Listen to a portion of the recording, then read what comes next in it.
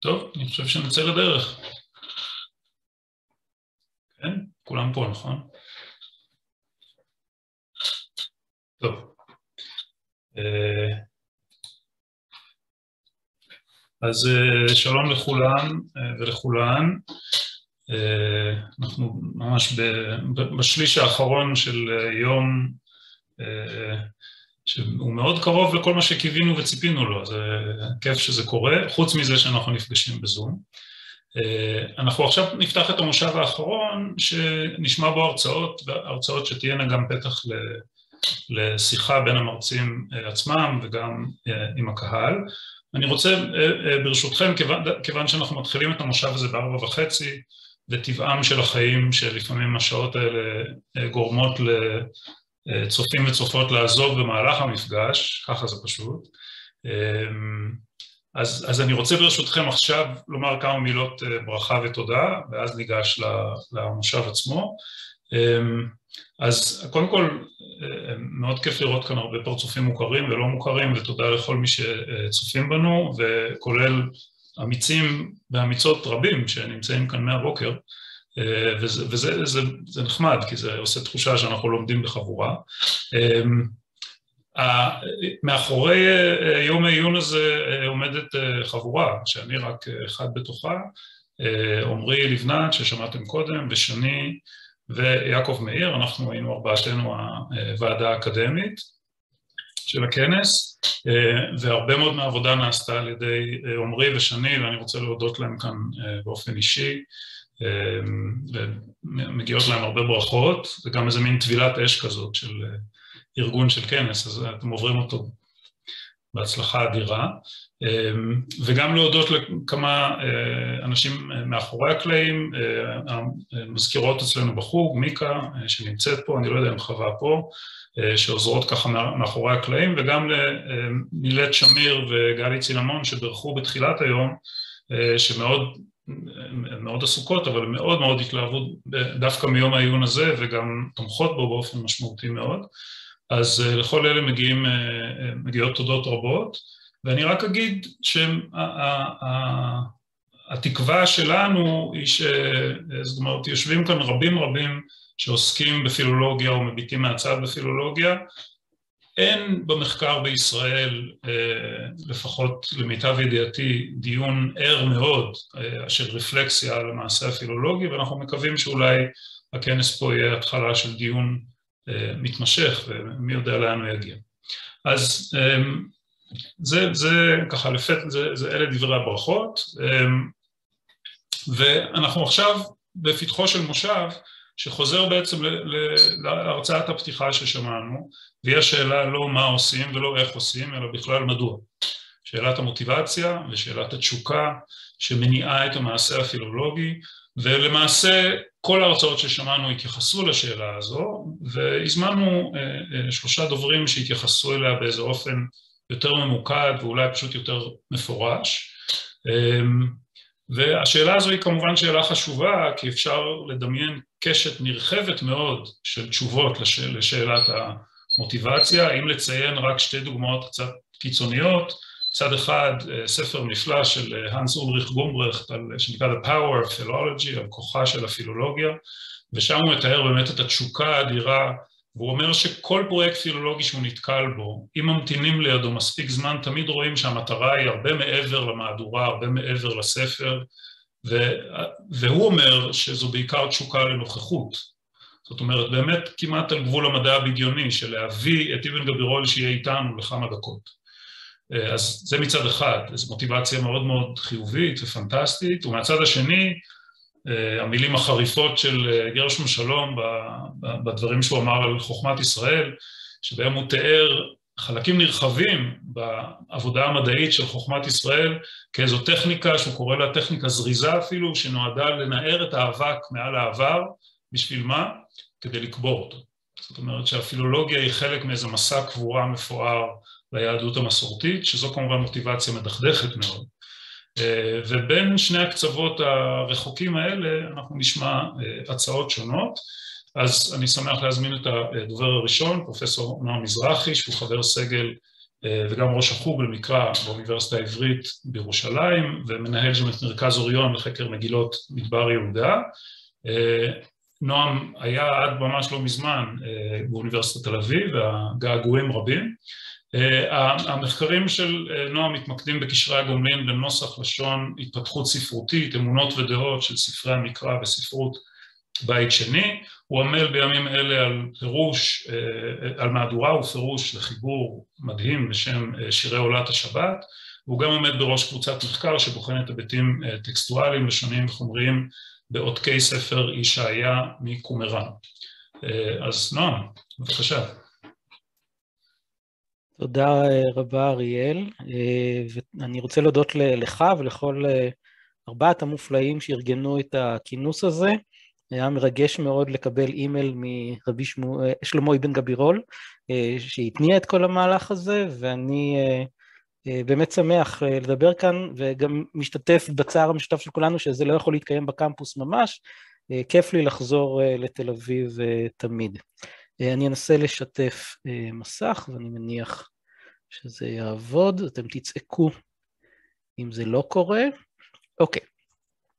אז תודה רבה כאמור על ההזדמנות, ואני רוצה להגיד שכמובן אני הולך להציג פרספקטיבה מאוד אישית על השאלה שהוצבה בכותרת המושב הזה, אבל ברוח הכותרת אני גם אציג שלוש תשובות, אם הן טובות או לא אתם תצטרכו לשפוט, אבל שלוש תשובות או תשובה אחת בשלושה מישורים שונים למה לעסוק בפילולוגיה, ואני שואב את ההשראה לניסוח שלוש התשובות הללו משני מקורות, קודם כל מתוך הניסיון הפילולוגי שלי עצמי, ואני אדבר על דברים שחוויתי בפרויקטים שונים, שמה שמשותף לרובם זה שמה שאני אציג כאן הם כולם עוסקים בשירה עברית עתיקה בצורה זו או אחרת, אז יהיה כאן הרבה self-referencing, אני מתנצל על כך מראש, לא בגלל שרק על עצמי לספר את דעתי, כי אני באמת רוצה לנסות לתת איזשהו מבט מבפנים ולא מבחוץ.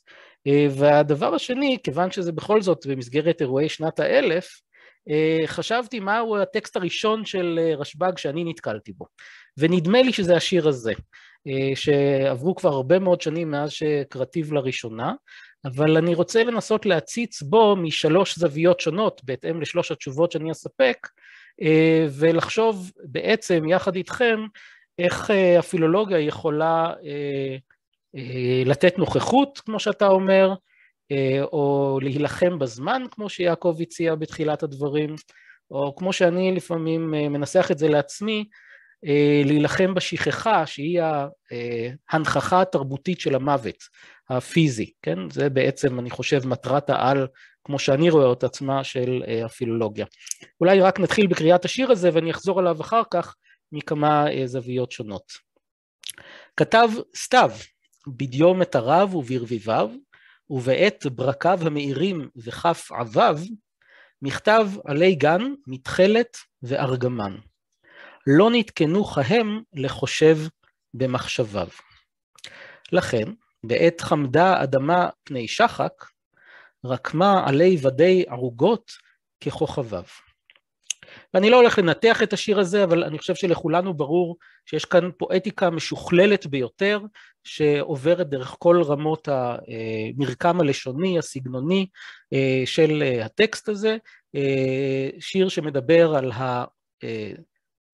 הטבע, על טבע האומנות, על האומנות שבטבע, ואגב כך מציעה מבט ארס פואטי על שירה בכלל ועל כתיבה בכלל.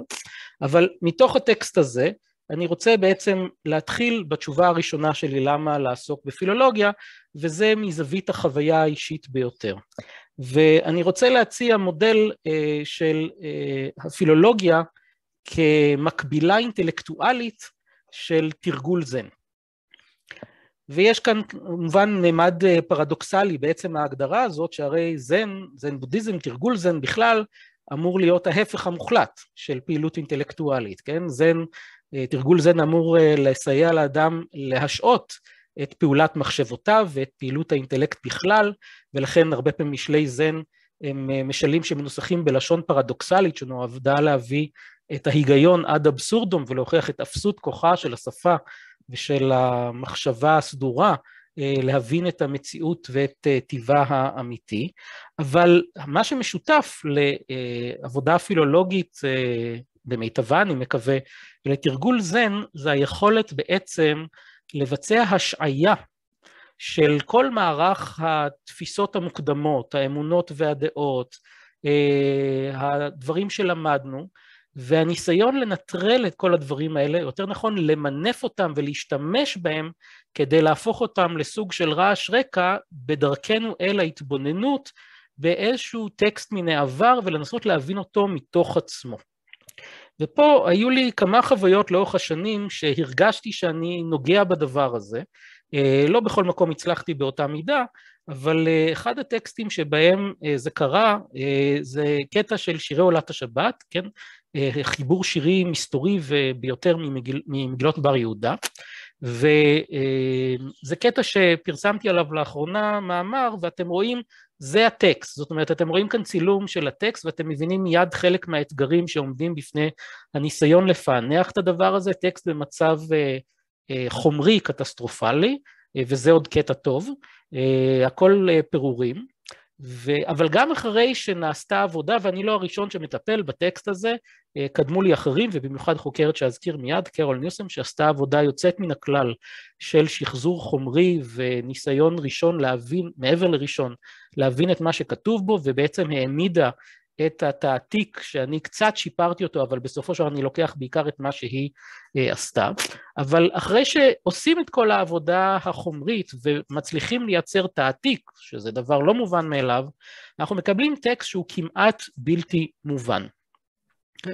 וכך הוא היה במשך הרבה שנים. זאת אומרת, וקרול ניוסן בעצמה כתבה שאחרי שמצליחים לעשות את כל העבודה הזאת ולהרכיב שש שורות שלמות, הטקסט, כמו שהיא אמרה, הוא עדיין כל כך סתום, שבעצם אי אפשר אפילו להבין על מה הוא מדבר. וזה קטע שהטריד אותי במשך הרבה מאוד שנים, ואני חזרתי ובהיתי בו, נכשלתי, חזרתי ובהיתי בו, נכשלתי, עד שהגעתי לנקודה שבה אה, פשוט זרקתי הצידה את כל מה שחשבתי שאני יודע על הטקסט. ואז היה ממש רגע אפיפני, רגע של אה, אה, התגלות, שבו ברגע שהפסקתי לנסות לכפות על הטקסט את מה שאני רציתי שהוא יגיד, פתאום התבלט המבנה הפנימי שלו. ואז הבנתי שהטקסט הזה הוא באמת קטע שירי, שמורכב בעצם מסדרה של היגדים שהם בעצם משוואות, שאומרות x הוא y, אבל אה, יש היגיון פנימי למשוואות האלה, כן? לא, כן, זה טקסט מורכב, לא ניכנס לפרטים שלו כאן, אבל הנקודה שאני רוצה להבליט היא באמת חוויית ההתגלות של הגשטלט הפנימי של הטקסט, ברגע שניסיתי לעזוב את מה שאני יודע עליו, אבל כמובן שהעזיבה הזאת היא אשליה. העזיבה הזאת היא אפשרית רק אחרי הרבה שנים של קריאת הטקסט הזה, של שימוש במנעד רחב מאוד של כלים פילולוגיים כדי לנסות כן להתמודד עם כל הבעיות, להכיר את השפה של התקופה, להכיר את הקונבנציות הסגנוניות של התקופה, ורק אחרי שהדברים האלה שקעו והפכו להיות uh, כמעט אוטומטיים, רק אז הם יכלו להתלכד יחד לרגע של האינטואיציה שבה פתאום מזדהר השיר מבעד לרצף הטקסטואלי שעד אותו רגע היה סתום וחתום. ובשביל הרגעים האלה אני עושה את העבודה, כן? אה, יש כמובן עוד דברים ויש הרבה עבודה קשה מעבר לזה, אה, ואיסוף ועבודת נמלים וכל מיני דברים אחרים שאפשר להגיד, אבל בסוף עושים את זה, אני עושה את זה בין השאר בשביל הרגעים אה, האלה. ואם אנחנו חוזרים רגע לשיר של אבן גבירול, אני חושב שזה אפשר לחוות את הרגע הזה מזווית אחרת גם בשיר הזה. כי אני חושב שאם אנחנו קוראים באמפתיה את השיר של אבן גבירול, אנחנו רואים שהוא באמת רואה את הטבע, במקום הזה, למרות המלאכותיות האדירה המכוונת של מעשה השיר, זה באמת שיר שרואה את הטבע, רואה את הסתיו, רואה את המפגש הזה של הגשם באדמה, ומצליח להנכיח אותה, אנחנו יכולים להריח את ריח הגשם, אף על פי שיש לפנינו אה, מרקם מילולי בלבד, ואין בו לא מראה, לא ריח ולא טעם, אבל זה מצליח לקרוא את הנס הזה. תשובה אחרת היא במישור אחר, והיא התפקיד החברתי שאני מעז לומר שיש לפילולוגיה, או תפקיד שהפילולוגיה יכולה לקחת על עצמה, גם אם אנחנו מדמיינים את הפילולוגים כמו פרופסור שקולניק הזקן בסרט הערת שוליים, בתור מישהו שספון בחדרו ולא יוצא ממנו אלא לעיתים נדירות, וגם אז הוא מסתנוור מקרני השמש. ואני רוצה כאן להשתמש בעצם במסע מאוד מפורסם של טי.אס אליוט, שנקרא Tradition and the Individual Talent, שעיצבה דור שלם של ביקורת בספרות האנגלית, בין השאר מכיוון שהיא הצביעה ברגע מאוד קרדינלי, כן, בראשית, כן, על סף שנות ה-20 ובעיצומו של המודרניזם, דווקא היא הצביעה על החשיבות של מסורת, מסורת תרבותית, וכאן אני חושב שלפילולוגיה יש מה לתרום. המסע הזאת תורגמה לפני כמה שנים בכתב העת הור, ואני מביא פסקה אחת מתוכה. וכך אומר אליוט, כן? אילו דרכה היחידה של המסורת, של העברה מדור לדור, הייתה מורכבת אך ורק מדבקות עיוורת או מצטנעת בהצלחותיהם של דורות קודמים, כי אז דינה של אותה מסורת היה להידחות חד משמעית. זה לא רק חיקוי, כן? החידוש עדיף על החזרה. המסורת היא עניין בעל משמעות רחבה בהרבה. אי אפשר לרשת אותה, ואם אתה חפץ בה, עליך לעמול קשה. היא כרוכה בראש ובראשונה בחוש היסטורי, כן? והחוש ההיסטורי פירושו לא רק תפיסת עברו של העבר, אלא גם נוכחותו בהווה. והנה אני מדלג לסוף הפסקה, מחמת קוצר הזמן, כן, אומר אה, אליוט, החוש ההיסטורי הזה, שהוא חוש העל-זמני וחוש הזמני, ושניהם כאחד, הוא אשר הופך את הכותב למסורתי, והוא-הוא הגורם לכותב להיות מודע באופן חריף ביותר למקומו בזמן, לעכשוויותו. או בתרגום למושגים שלנו, אני חושב שהתרומה שיכולה להיות לפילולוגיה, לחברה בכלל ולתרבות הישראלית העברית המתהווה שלנו בפרט, היא בעצם תביעת המסורת, אה, קביעת ההקשר, המקום שלנו וההקשר שלנו בתוך העולם של הכתיבה העברית אה, מראשיתה ולתוך העתיד, העתיד האפוקליפטי אה, לפי עופרי, אבל בכל זאת גם זה סוג של עתיד, ואני חושב שאנחנו עושים את זה בכל מיני דרכים, אנחנו כותבים מהדורות ביקורתיות שמנגישות לקוראים היום את אה, יצירות העבר שזקוקות לתיווך וזקוקות לאהבה ולטיפוח מכיוון שהן כמעט בלתי מובנות אם אנחנו מסתכלים עליהן כשל עצמן. ואנחנו גם מנסים להבין דרכן את הלשון העברית לדורותיה, להחיות מילים שאבדו כן, דברים שניסיתי לעשות בכמה אה, פרסומים ולהחזיר אותם למחזור הדם של הלשון העברית, או לנסות, לנסות לנער קצת את המסע הפרשנות שיש מעבר למילים טעונות מאוד, כן, כתבתי לפני כמה שנים מאמר על היצר, יצר הרע, וגיליתי להפתעתי, דבר שלא ציפיתי, שבעצם כל המסורת הפרשנית והתרבותית שתלויה בביטוי הזה, יצר הרע, כרוכה באי הבנה פורה מאוד כשל עצמה, של המילה יצר, שאם אנחנו מנסים לעשות מה שעשו הפורמליסטים הרוסים, כן, להחזיר לאבן את אבניותה, להחזיר ליצר את משמעותו המקורית, אנחנו מגיעים להבנה אחרת לגמרי של הפרשה המקראית שהמילה הזאת עולה בה לראשונה.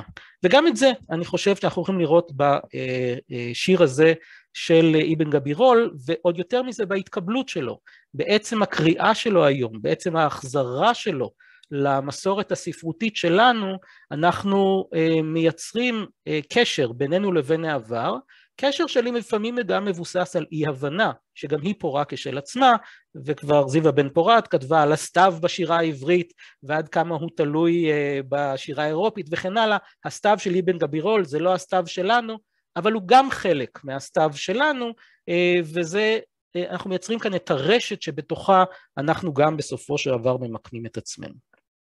ואני אסיים אה, באמירה קצת פומפוזית, ואני מקווה שבאמת לא מנופחת מדי.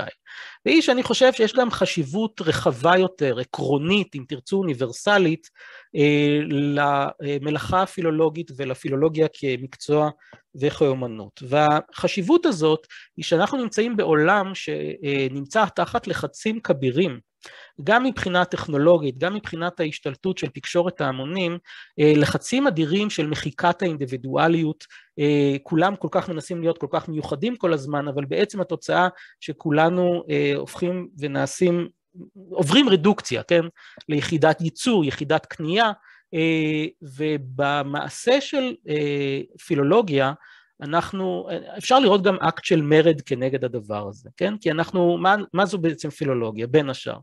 זאת אומנות הקריאה האיטית.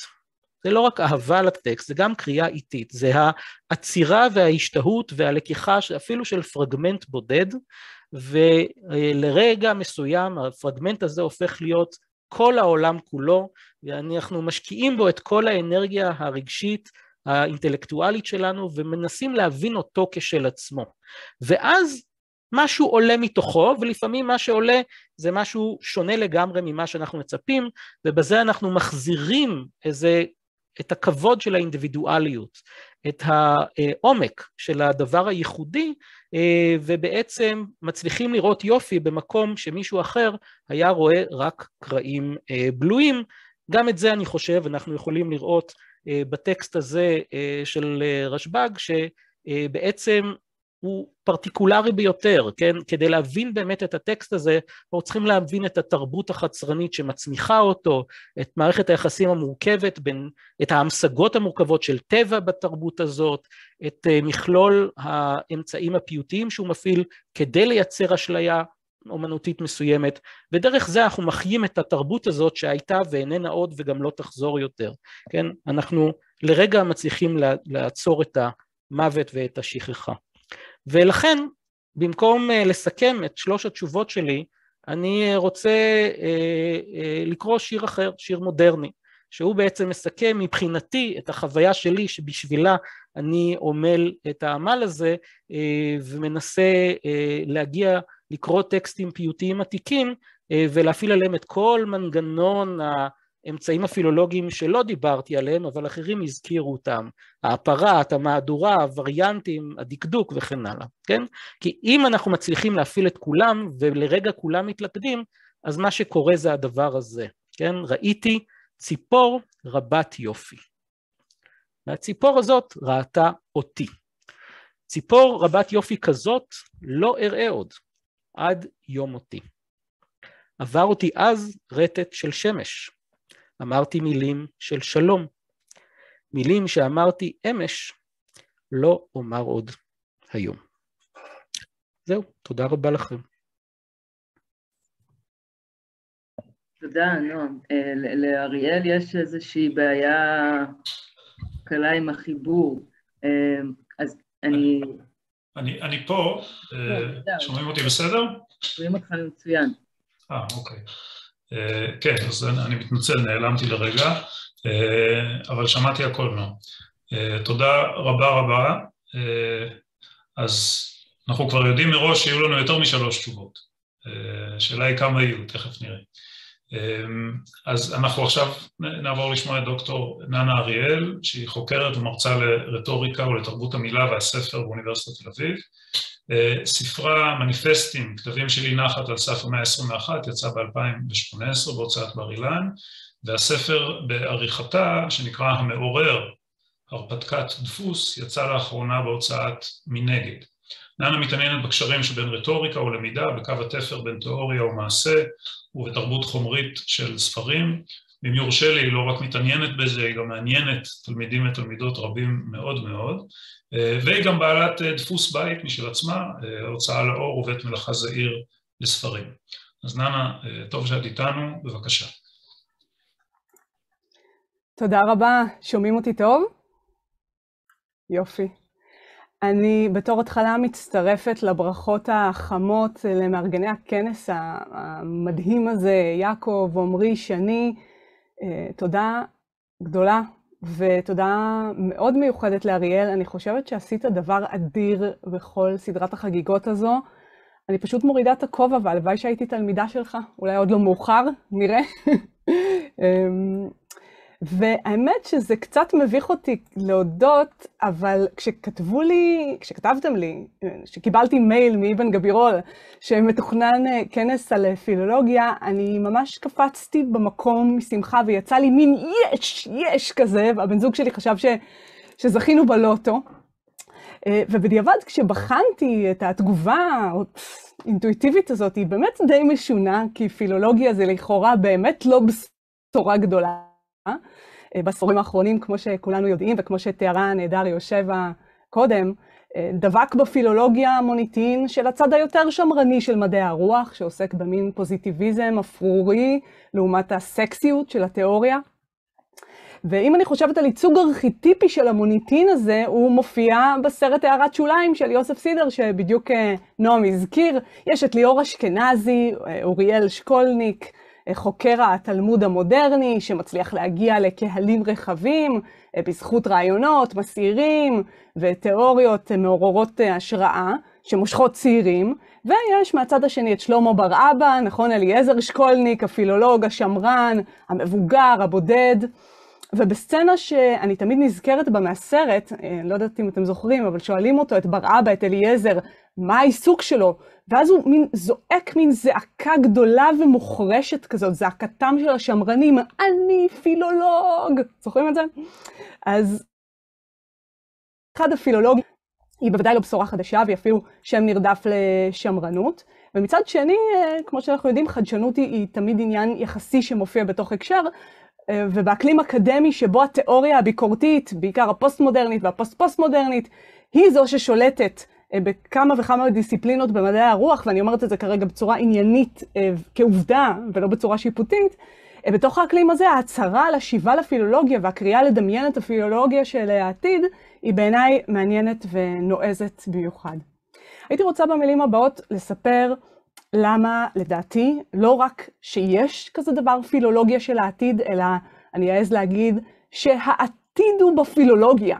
ובעצם להגיד שבעיניי הפילולוגים הם אלה שהולכים להיות הליאור אשכנזי, האוריאל שקולניק של האקדמיה אה, בעתיד.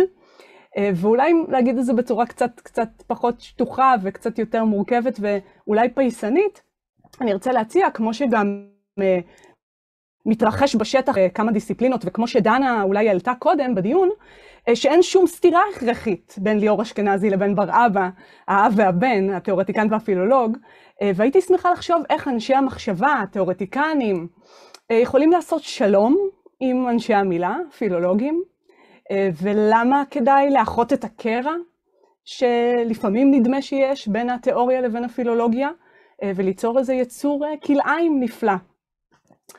כל זה כמובן בהנחה ש...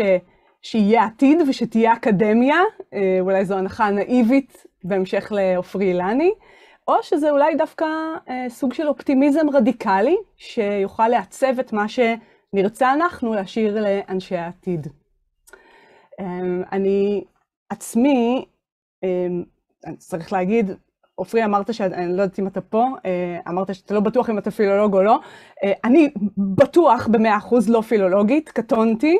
אה, בטח מול הפילולוגים שנמצאים פה היום, אבל כן עסקתי בכמה היבטים שקשורים לתרבות חומרית של ספרים בהקשרים מודרניים, ואני הייתי רוצה היום להאיר צד אחד של פילולוגיה, אה, זה שנוגע למעשה אה, לא רק בפילולוגיה, אלא בפנומנולוגיה של ספרים.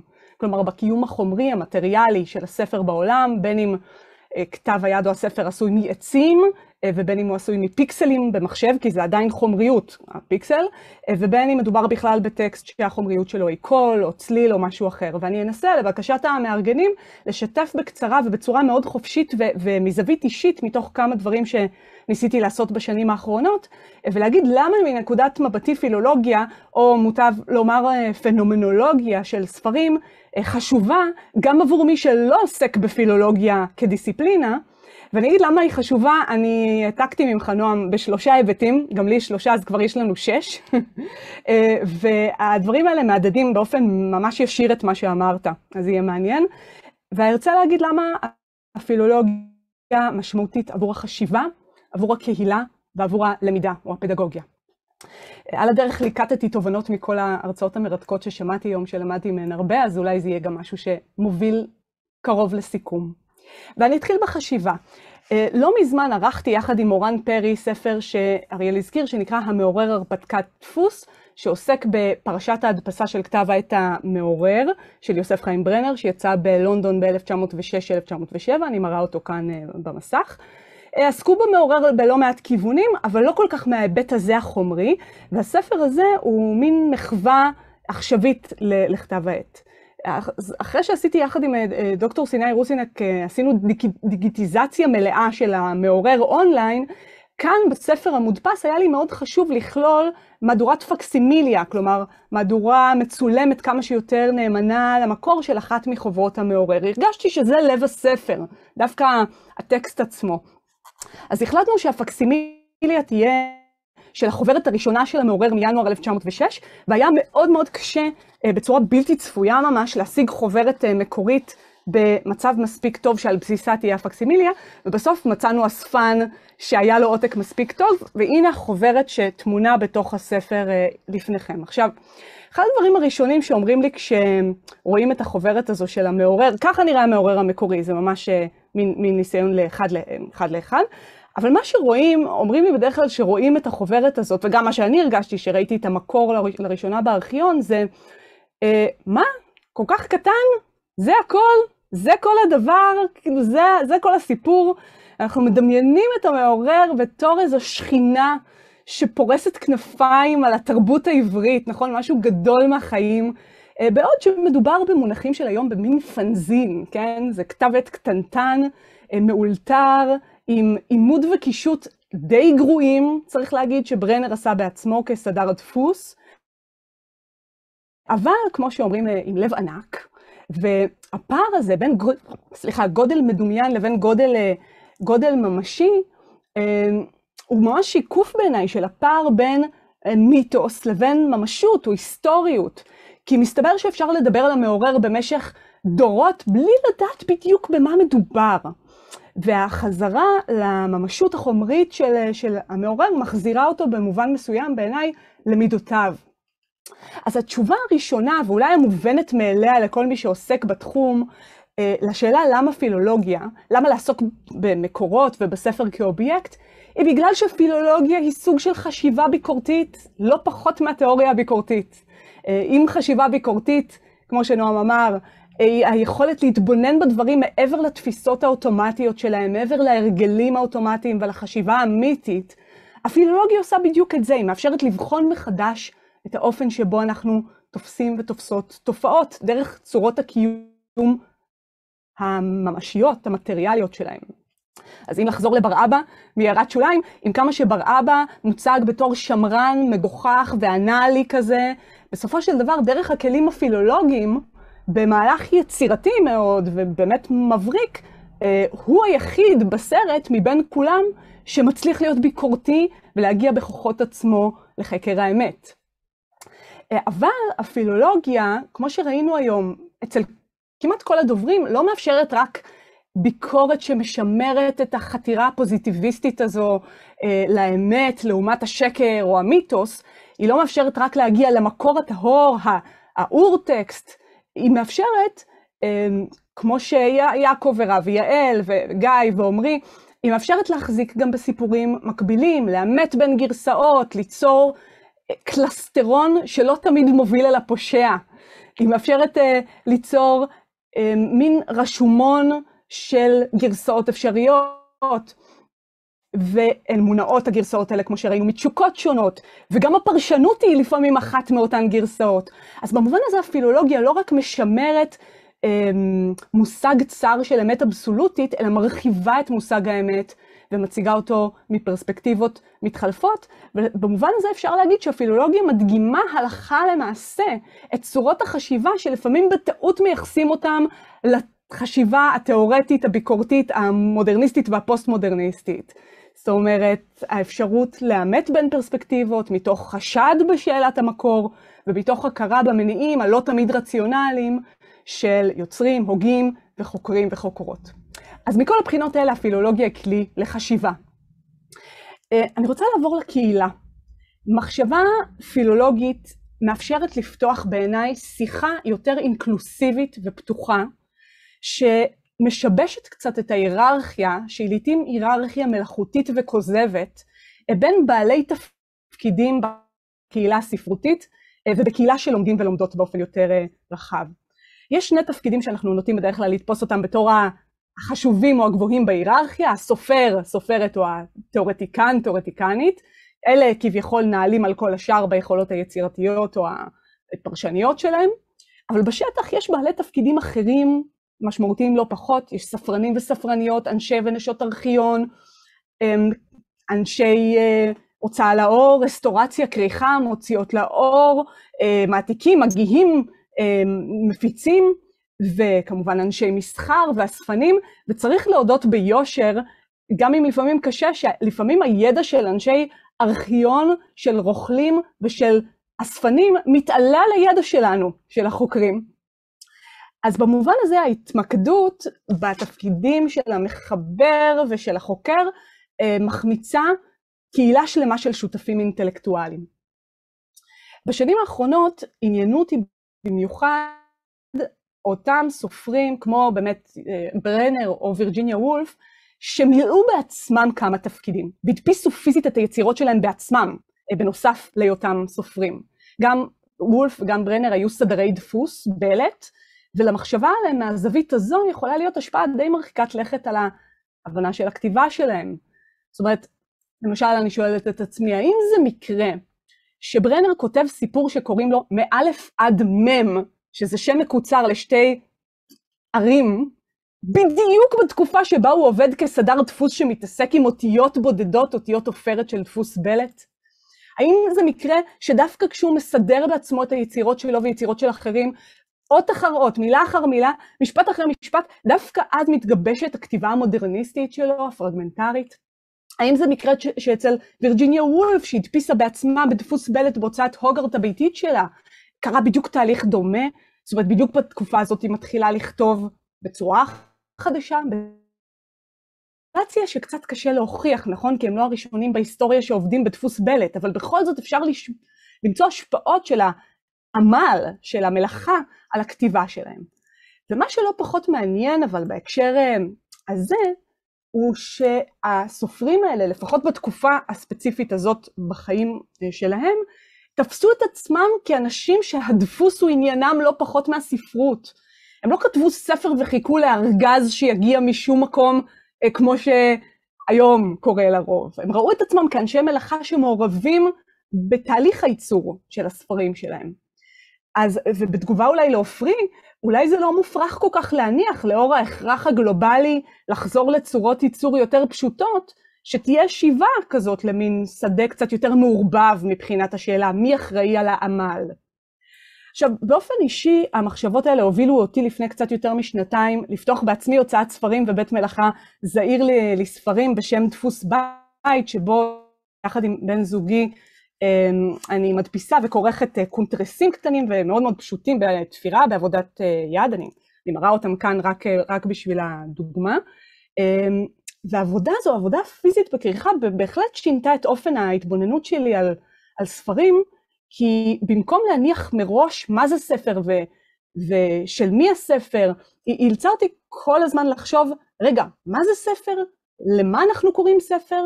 מה יכול להיות ספר?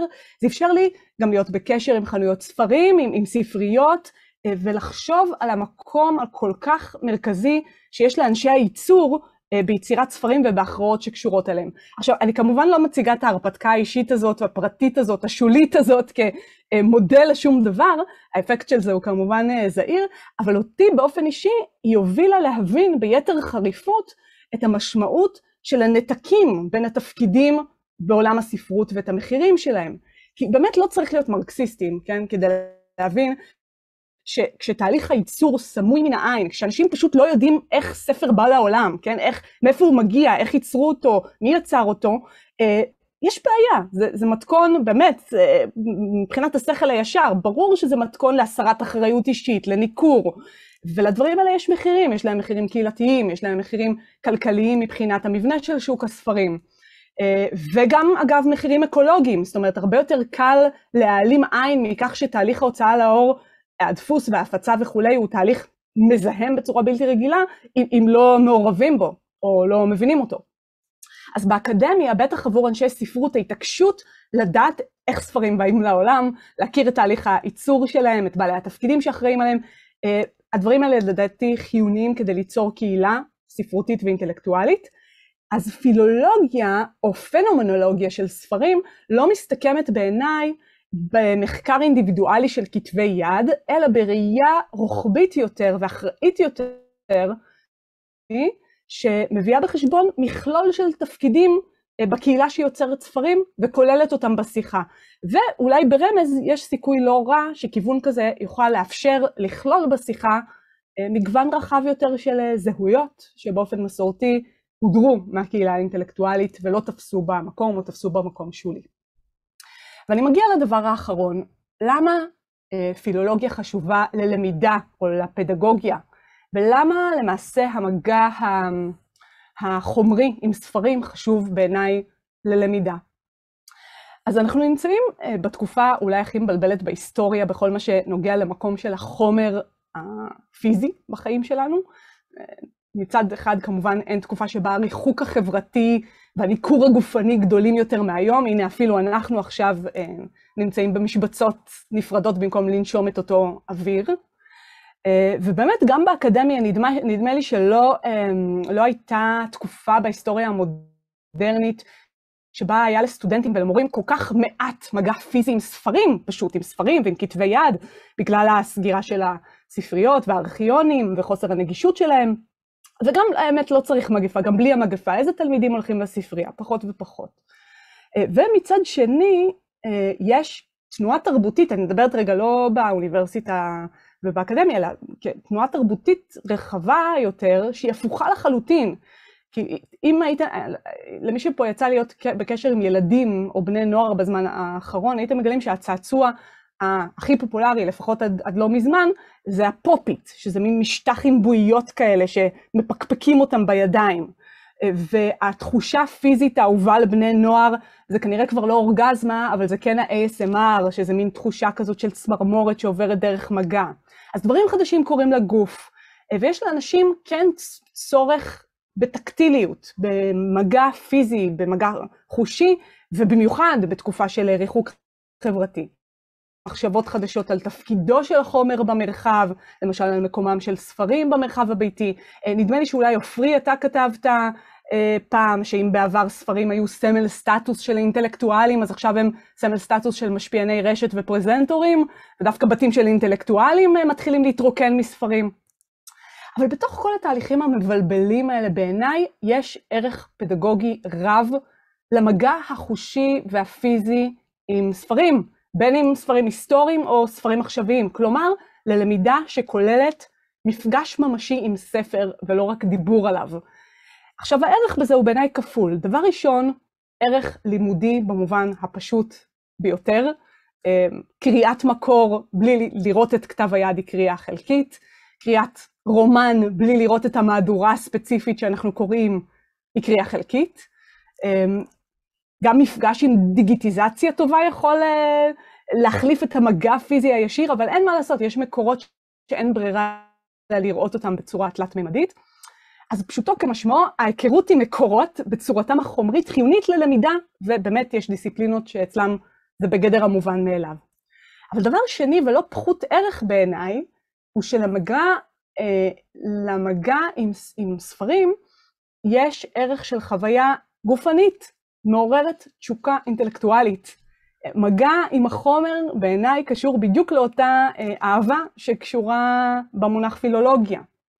אני רואה לפעמים את ההשפעה שיש למגע עם כתבי יד וספרים על סטודנטים, למשל, את העיניים הסטודנטים, שסטודנטים כאילו נפערות כשאנחנו רואים ביחד שמתוך האנציקלופדיה של דידרו ודלמבר מהמאה ה-18, שנמצאת בספרייה בסורסקי, נפתחת מתוך האנציקלופדיה מפה גדולה יותר מהספר שמתיימרת למפות את כל הידע שיש בעולם.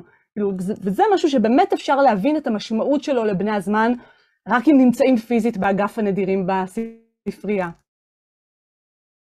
ויש עוד הרבה.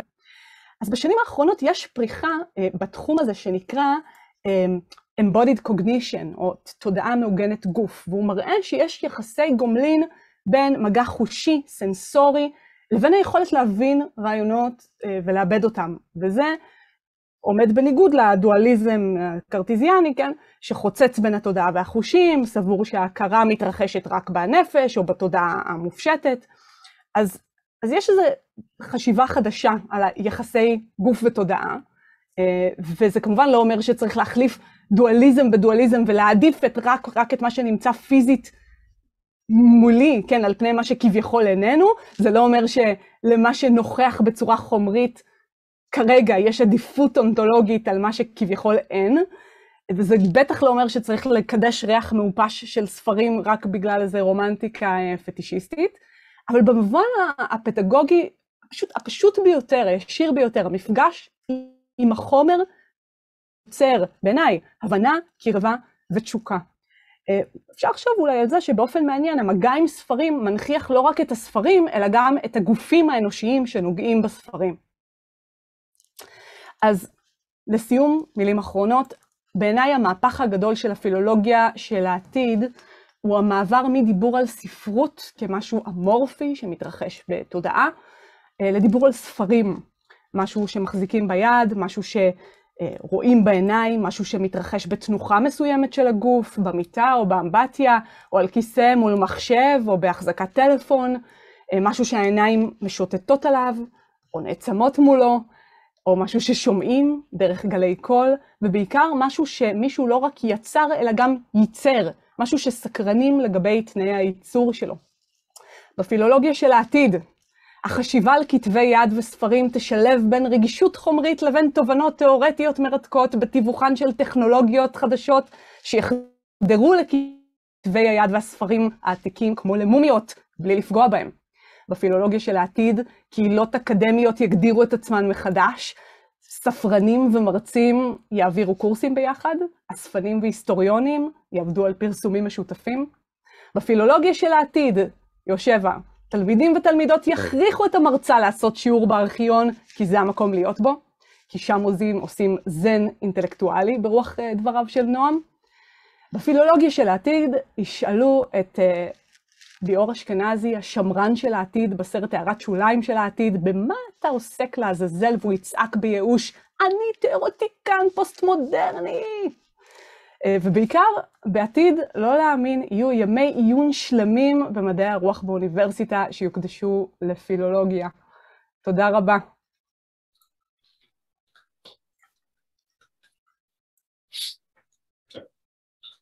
תודה רבה רבה, נענה. טוב, אני בטוח שאצל כולם מתחילות להצטבר הרבה שאלות, אז עוד יהיה זמן לשוחח. אנחנו נעבור להרצאה השלישית של פרופסור גלילי שחר מהחוג לספרות באוניברסיטת תל אביב. גלילי הוא גם ראש בית הספר למדעי התרבות אצלנו באוניברסיטה, והוא לא רק מנהל את בית הספר הזה, אלא מחולל בו שינויים משמחים עד מאוד, שעוסקים בספרות עולם, בספרות השוואתית, ואני מקווה שמשהו מזה נשמע גם בהרצאה שלו. הספרים האחרונים של גלילי, גופים ושמות, ספר שעוסק בין השאר גם בגבילים ובגוף ובחומר, וספרו האחרון הוא האבן והמילה על שירת פאול צלן, שרק משמו אפשר להבין שאותה טקטיליות שננה דיברה עליה לא זרה לו. אז גלילי, בבקשה. ערב טוב.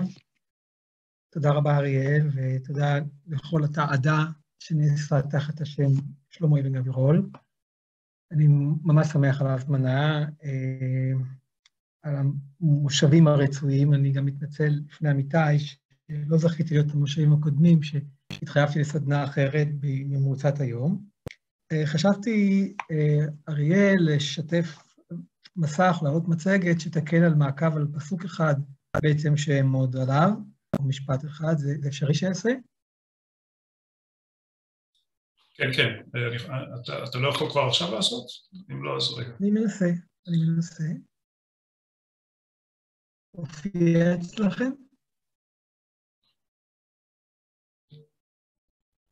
כן, כן, רואים. יפה. אז, אז כך. רק אולי תעביר את זה למצב של מצגת, גלילי, ואז... העברתי, כנראה שזה לא, לא, הנה זה עבר, הכל בסדר. עבר, יפה, אוקיי. טוב. אז אלה הנקודות של, של השיחה שלי על הנקומנדה, על, על העתידו, ואתרכז במקרה אחד, המקרה של אה, קרל, קרל, קרל אמיל פרנסוס, ועל, בעצם על, על מאורע של שיבוש או הפרעה, אבל, אבל תיקון בהיסטוריה של הפיולוגיה הגרמנית, שאני מניח ש... שם אני מצוי יותר במובן המובהק הזה. מדובר במאורע של, איך לומר, פרשנות יתר של מקום קשה בכתב יד, הפרעה, שכאמור, אני הייתי רוצה להציע לשוב ולפרש אותה כמאורע של הפיולוגיה של העתיד. השיבוש קשור כאמור בשמו של סופר, מוציא לאור, קרל מיל פרנצוז, אה, יהודי ממחוז אודליה באוקראינה, שבנעוריו, לאחר מות אביו, עקר לצ'רנוביץ', שמחוז בוקובינה, המחוז שהעיד עליו המשורר פאול צלן, כי היו בו אה, ספרים ובני אדם, וכמובן לשונות רבים. כמובן גורלות נחרצו במחוז בשנות ה-40 של המאה הקודמת. אך פרנצוז היה שייך למאה אחרת, מחצית השנייה של המאה ה-19, המאה השירות האסבורגית שבירתה בווינה, אף שאת חייו סיים בבירה אחרת, בברלין, בירת הרייך הגרמני השני, ולאחר שהשלים את לימודי התיכון בצ'רנוביץ', פנה פרנסוז ללימודים גבוהים. את השכלתו עשה דווקא בתחום המשפטים באוניברסיטת וינה, אף ששאיפתו הייתה להתמחות במקצועות הפיולוגיה הקלאסית. הערב לא, לא נרחיב את, ה, את הדיבור על מפעליו הספרותיים של פרנסוז, או על נטיות ליבו ורעיונות פוליטיים, אלא בקיצור גמור, מדובר היה ביהודי בעל נטייה פטריוטית גרמנית, פרוגרסיבית אמנם, ליברלית במובן ההיסטורי של המילה, הוא דגל בהשתלבות היהודים בתרבות הגרמנית ברייך, מן הספרות פרי, פרי עטו של פרנסוב, יש לא מעט המיוחדת לתיאור מה שאפשר לכנות צורות החיים היהודיות, תיאור שיש בו משקעים מובהקים של ביקורת עצמית, אה, שלילת המסורת ודיבור על נחשלות לכאורה של יהודי אירופה. קובץ הסיפורים שלו, דיודן פון ברנוב, אסופה של סיפורי גטו, כמובן של המאה ה-19, שהתפרסמה בשנת 1876, אולי מפורסמת בין כתביו למצב היהודי. אבל השיבוש שאנחנו עומדים לדון בו, שיבוש ותיקון, שמיוחס לפרנסוס, כלומר, שהוא אחראי לו, קשור בהוצאת כתביו של, של המחזאי, הסופר הגרמני גרג בישנר, אחד ממבשרי המודרניזם, שמגלם בחייו את מה שאפשר, וביצירתו, את מה שאפשר לכנות אה, ניסיון החיים הקצרים. בישנר בעצמו סופר, משכיל, סטודנט לפילוסופיה, פעיל בחוג מהפכני בגרמניה שגלה שטרסבורג, שם התמחה בלימודי רפואה וחיבר עבודת מחקר, דוקטורט על מערכת העצבים של הדגים. ובכן, אותו בישנר הלך לעולמו בגיל 24. מותיר בזמנו את טיוטת המחזה וויצק, לצד הנובלה לנץ, המוקדשת לסופר אחר, אה, בן דור סער ופרץ בגרמניה, ופרנצוז, זה שלנו, ששלח אה, יד בהוצאה, בהוצאה לאור, ושאותו בווינה היה, הוא יודע מה, אחראי לגילויו מחדש, זה חשוב לי להגיד, לגילויו מחדש של בישנר ולהדרת כתביו, וכך נחזור בסוף על, על הפילולוגיה כהצלת נפשות. אז ההערה השנייה היא באמת על הפילולוגיה. המהדורה של אה, פרנסוז לכתבי בישנר שהתפרסמה בפרנקפורט בשנת 1879, היא המהדורה הביקורתית הראשונה של כתבי בישנר, מתוך זיקה למסורת הפילולוגית בגרמניה המאה ה-19, שנמשכת עד היום ההוצאה, של, ההוצאה הביקורתית של, של כתבים מן העזבונות. העניין הזה דורש, עם זאת, ברור מושגי קצר כמדומני. אינני יודע אם עלינו להסכים מיד על על תוקפה של ההנחה, התוקפה של ההנחה הזו, אך נוכל בוודאי לשנן אותה תחילה. כי מה שאנו מכנים בשם פילולוגיה, חל תחילה על תשוקת דעת או אהבת מילה, בוודאי על אוריינות ספרותית, על בקיאות בלשונות העולם, על התמצאות בכתבי יד, על יכולת לתרגום, על קריאה קרובה וביקורת טקסט, וכמובן על האפשרות להציע מצע להקשרים הרמנויטיים. ואם נסכים על ההנחה הזו, אז נוכל לומר כי הפילולוגיה במובנים האלו האמורים היא אחת מעמודי ההומניזם.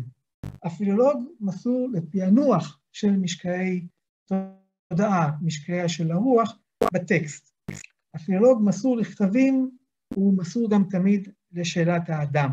במובן שיש עוד לברר אותו, הרי הוא מסור גם לעתידה של השאלה עצמה, שאלת האדם, כלומר, כיצד לשוב לנסח אותה כראוי מתוך זיקה למסורת הספרותית או הלשונית. כאמור, אין אנו מפריזים לגמרי אם אנו מפרשים את הוראתה של מילה הזו, הפילולוגיה בראש ובראשונה להתמסרות לטקסטים.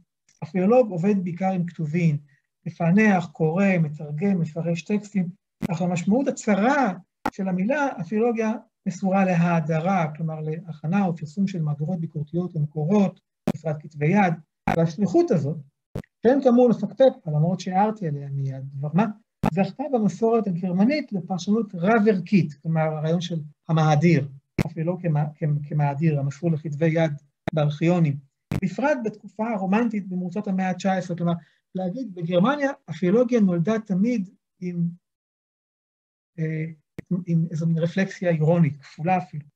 מובנה אחד של הפרשנות הרומנטית הזו לפילולוגיה היא תשוקת המקור, ההתמסרות לגילויו של טקסט קדום, מקורי, כמו שאני חושב שאיננה העירה, האור-טקסט, הטקסט הקדום, המחזיק לכאורה בערך אמת. הפרשנות הרומנטית הזו, השליחות הפילולוגית, לא נפרדה מן הפרויקט הלאומי של גרמניה במאה ה-19, שכידוע הולידה מסורת אקדמית מפוארת, אך מבעיטה של פרשנות הומניסטית. הפילולוג הנערץ, השקדן, המסור להאחדה וההדרה של כתבי יד, סילוק כתמי דיו, פענוח מקומות קשים בטקסט, ברור משמעויות ראשוניות, אינו משוחרר מן התשוקה הכוזבת לפרקים למקור, ולעיתים קרובות מדי היה נוח להתגייס לפרויקטים לאומיים. אך הפרשנות הרומנטית לפילולוגיה, שכולנו כאמור חיים באורה וצלילה במובן מסוים, לפרשנות הזו יש גם מובן נוסף, אירוני והרסני. הפילולוג גם היה נוח להתפרש כפיגורה מנוכרת, השקועה בשכחת העולם, ונאחזת היאחזות יתר בטקסטים. כמה מן הדמויות המקוריות ביותר במעשיות הגרמניות של, של האחים גרים, של יתיה הופמן, הן קריקטורות של הפילולוג. כלומר, הרבה לפני אה, הערת שוליים, כלומר, כבר אז הפילולוג מופיע כדמות פרודית, שתשוקת הטקסטים שלה הופכת, לפחות במקורות הגרמניים האלה, למעין אלכימיה חדשה. גם בפאוס של, של גרטה יש מידה כזאת של מעלה מופרזת, אפילו גנוסית של הפילולוגיה, הנחתמת כזכור בסצנה בחדר, בשטוליצימר, בחדר הלימוד, בהתגלמותם של שדים ורוחות רעות מן הכתבים. גם במסורת האקדמית מותר לנו, האם מותר לנו, לשער כפילות או למצער, למצער סמיכות בין כתבים אלה למפעלו של הפילולוג הנוהג כמאהב או כחשוק בשפה, בספרות ובטקסטים, אך תשוקתו מוציאה אותו מן העולם. המקרה של פרידריך ניטשה מגלם זאת כידוע בכוח רב בתולדות המחשבה האירופית, ואת ספרו די פרולישה ויזנשאפט, המדע העליז, אפשר לקרוא, אני לא בטוח שאני ממליץ, אך לקרוא כך, ובכל זאת לקרוא כמדריך לפילולוגיה של העתיד. נדמה כי בעולמה של הספרות העברית, ושמעתי את מיכל ארבל מעירה על כך היטב, יצר שמואל יוסף אגנון כמה פיגורות מזונות לסדר הפיולוגי הזה, סיפורו עד עולם, ברומן שירה, אך אין זה נושא שיחתנו הערב. נשוב לעיקר, ברשותכם. כשאנו שואלים למקרה של פרנסוז, הסופר היהודי, המשבש ומתקן בכתביו של גאורג בישנר, אנחנו צריכים לשאול גם על זיקתו למסורת הפיולוגיה בגרמניה. הגרסאות שפרנסוז פרסם בכתביו של גאורג בישנר זכו לביקורת, בין השאר על שגיאות בהדרת הכתבים, שיבוש של כותרות, למשל המחזה רוצק, וכדומה. אין לנו עניין הערב לקשור את השיבושים הללו עם השכלתו, הוא כזכור לא פיולוג מוסמך, ניסיונו כמו"ל, או עם נושאי הסיפורת שלו, צורת החיים של היהודים. כבר אין לנו עניין לשחק שוב, אה, או להפוך בתזות האנטישמיות בהיסטוריה של הפיולוגיה בגרמניה, אם היהודי מסוגל לפענח כתבי יד. יהדותו של פרנסוז אינה קשורה לשיבושים בקריאת כתבי היד של גאורג בישנר. אך שיבוש אחד, קריאתו של פרנסוז, או כפי שנראה מיד, אה, תיקונו, בחתימת הקומדיה של בישנר, לאונס ולנה צריכה בכל זאת תשומת לב, אני כמעט רציתי להגיד תשומת לב יהודית, אני חוזר במיד.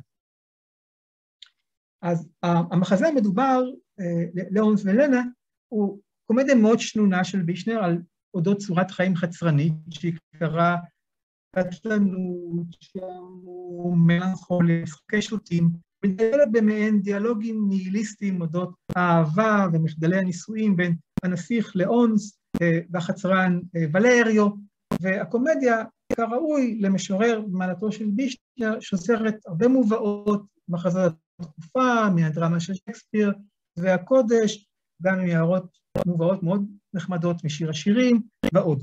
היא לא ראתה אור בחייו של גיאורג בישנר, אתם זוכרים, הוא הלך לעולמו בטרם מלאו לו 25, והתפרסמה אה, מן העיזבון לאחר מותו לפי כתבי יד העתיקו ארוסתו ויללמינה ואחותו לואיז בישנר. זה חשוב לי גם לומר, זה אנשים שמעתיקות את כתבי היד של אה, ביכנר לאחר מותו. עכשיו, כתבי היד הללו עצמם אבדו. הם אבדו, אך שימשו, בטרם אבדו, שתי המהדורות הראשונות, האחת משנת 1838 מאת הסופר אה, קארד, שהייתה מיוסדת על כתב שהעבירה לרשותו ארוסתו של המחבר, והשנייה משנת אביק בישנר, אחיו של המחבר, לפי כתב יד שהעתיקה האחות, לואיז בישנר. עכשיו, שתי המהדורות הללו אינן נקיות מבדמים ושיבושים. הראשונה של גוצ'קוב הציגה גרסה קצרה, למעשה מסוכמת כזו, של, של המחזה, שאותה הוא ערך על פי שיקולים אסתטיים ופוליטיים. גוצ'קוב קרא את הקומדיה של בישנר כמחזה בוסר, נמהר, חטוף, שאינו ראוי לפרסום מלא. עריכתו הזו הושפעה גם מפחד הצנזורה והרדיפה הפוליטית בגרמניה. גוצ'קוב, שנבנה כבישנר עצמו על עשייה המהפכנית בגרמניה, הואשם בנטיות חתרניות, אנטי-נוצריות, אנטי-לאומיות, הושמץ בעיתונות ואף נאסר זמנו. המהדורה שלו לקומדיה של בישנר נענתה לכן למה שכינה בעצמו המאבק על שמי הטוב. אתם מבינים? הקומדיה מתחילה גם לפלוש לתחומה של הפילולוג. או אם זו טרגדיה. המהדורה השנייה, זו שכזכור ערך לודוויג בישנר, אחיו של, של גיאורג, הציגה אומנם גרסה מלאה של המחזה, אך זו הייתה מעוגנת כעדותו על כתב יד חלקי של האחות, לואיז, שהוא מעיד, התקשתה בהעתקת כתב היד והשמיטה חלקים ממנו. האחות כנראה השתעממה בעת ההעתקה, שבי, אז היה לה קשה, הוא כותב במכתב, ויש לשער כי גם לודי בישנר לא מיעט בתיקונים ועריכה, אנו יודעים גם כי אותו כתב יד, השיבושים שבו הושפעו משגיאות של המתקין, סדר הדפוס. הרבה מהפיגורות שדנו דנו בכנס מתכנסות בכל הסיפור הזה של, של עריכת כתב היד של יורדי שנר. כלומר, שיש הרבה גם לשער, אפשר להתעכב ולדבר הרבה על אותן גריעות, שמיטות, תיקונים, סיכומים בגרסאות המחזה של. וצריך היה, כאמור, אמרתי זאת, לא התאפקתי, לשאול גם לפשר המשחק המגדרי הנמתח בין הנשים המעתיקות את כתב היד מן העזבון, לגברים המוציאים לאור ומעניקים למחזה תוקף בציבור. שבעצם השאלה הזו על פער המינים והמשחק המגדרי הוא גם נושאו של המחזה עצמו, כן, ליאונס ולנה. המגולל כזכור את פרשת נישואיו של, של ליאונס מממלכת פופו, סליחה, לנה מממלכת, מממלכת פיפי, ועל דימויי האישה והגבר, אבל כאמור אני לא רשאי להתעכב על כך יותר, אלא מיד להגיע לפרשת פרנס. כאן אולי אני אעבור עמוד אחד במצגת, אלא נשפע. אתם רואים את השקופית השנייה, נכון? יופי. כן, כן, רואה. תודה. אז חתום כאמור כעורך למהדורה הביקורתית הראשונה של כל כתבי גיאורג בישנר, זנטלישה ורקה, שכללה לצד פרסום ראשון של המחזה ווצק, גם הוצאה מחודשת של הקומדיה לאונס ולנה, ואין לנו רשות לעמוד על כל תיקוניו של פרנסוס, כלומר, לעשות את הקריאה השוואתית עם שאר המהדורות, אלא על מקום אחד בלבד בטקסט, משפט הסיום של המחזה. לפי הנוסח המקובל, המיוסד על מהדורה השוואתית בעצם, נחתם, כלומר אין, אין משפט כזה, בשום כתב יד, בשום גרסה אין את המשפט שאני עומד לקרוא, הוא מבוסס על השוואות ועל אה, הליך אה, של בירור פילולוגי. המשפט החותם אה, עם הופעתו של ולריו, אותו חצרן, שוטה, קומי, בשעתו של הנסיך הבטלן ליאונס, שמדבר על, על העתיד, על עתידו, כן, לאחר נישואיו של, של אדונו ללנה. וככה נקרא. Und dann legen wir uns in den Schatten und bieten Brot um Macaroni, Melonen und Feigen, um musikalische Kehlen, klassische Leiber und eine Religion. ככה, בתרגום ארעי כזה. ואז נשכב לנו בצל ונבקש מאלוהים, מקרוני, אבטיחים ותאנים, גרונות מוזיקליים, גופים קלאסיים ודת נינוחה. אוקיי? אז אני רוצה להתעכב על גרסת הפסוק החותם, שאתם רואים אותה, סליחה, בגרסת גושקו ובמהדורת שולץ, ולבסוף אצל, אה, אה, אצל פרנסוס. הצירוף האחרון, דת נינוחה, בגרמנית אני קומדיה רליגיון, זה שאול מצרפתית? אה, קרא, פירש, שאל פרנסוז במהדורה שלו בתור הדת העתידה לבוא. הנה קומנדה רליגיון. כלומר, הוא הוסיף בעקבות לודזיג בישנר שתי אותיות, EN, להסב את המשפט החותם של הקומדיה, הסבה רדיקלית. בגרסתו של פרנסוז אין מדובר עוד בדת נינוחה, אלא בדת לא נודעת, דת שהודה בדרך, אם תרצו, דת מן הפילולוגיה של העתיד. השיבוש הזה עליו העיר הערת יתר, לא מאוד מדויקת, אבל בכל זאת, הערה נהדרת, פאול צלן בנאום מרידיאן, אכן עשוי לבטא דבר מה כגון התערבות יהודית בתולדות הספרות הגרמנית. קרי, שיבוש המחולל בשפה תפנית מבעיטה, עתידית, כמעט לומר משיחית, במובן הפיולוגי של הדבר. קרי, חידושה של האמונה, בעצם העתיד לבוא כמאורע אימננטי של השפה. כלומר, השיבוש בטקסט הוא זה שיביא את ה... הוא, הוא המביא, הוא העתיד לבוא, הוא המביא. כלומר, בניסוח אחר, פרנסוס טועה. הוא מחולל שיבוש נורא בשפת הקומדיה הגרמנית. אך בה ועת, בעצם ההפרעה הזו, הוא מסמן את הפוטנציאל המהפכני באמת של הפרויקט הפילולוגי, לשאול משמעות מן העתיד. אין צורך עכשיו להפליג, למרות שהפרסתי לגמרי, כן, בפירוש של השיבוש הזה, שממילא צריך להגיד נדחק מזמן כהערת שוליים בתולדות הפילולוגיה בספרות בגרמניה. אין גם להגזים ולטעון כי נתמצא בו לכאורה איזה מין מודל להפרעה היהודית בסדרי השפה האירופית, דבר מה שאותו מכנה צלן בעצמו בשם פריוד, כלומר לעשות ליהודי מדי, יהודי עד זרה. למעשה אפשר היה לחשוב אה, אה, כי פרנסוז בלי דעת ביקש לשוב ולתקן את הפסוק החסר במחזה אה, של בישנה. אין, אין, לי, אין לי לומר או אין לנו לחשוב כי פרנסוז בא להודיע בתיקון הזה, כלומר בעצם החזרה על השיבוש על דת העתידה לבוא, כן? kommende Religion. אין זה מעניינה של הספרות לייסד דתות חדשות, או להכריז על בואם של אלים חדשים. קריאת העתיד בשיבוש תיקון של פרנצוז, יש לנו הרשות לומר, קוראת לבואו, לשובו של המשורר שנשכח, גיאורבישנה.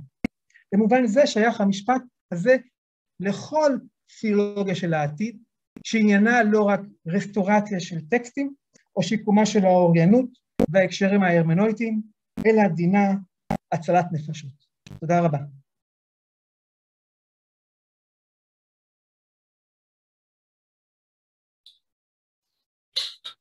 נסייע נכון בסילוק המצגת.